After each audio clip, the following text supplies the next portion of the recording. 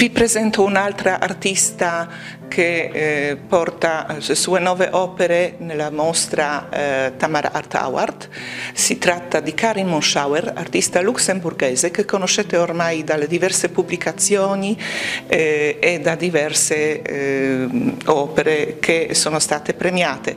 Eh, questo anno, eh, annuario della Mondadori CAM, ha mh, pubblicato nelle prime pagine l'opera che trovate sulla mia destra, che rappresenta Campo Fiorito. La caratteristica delle opere di Karin Monschauer consiste nell'unire di due sue passioni della vita, la prima arte per ricamo e la seconda la matematica, che eh, traduce nelle figure geometriche che tengono a scrutare infinito.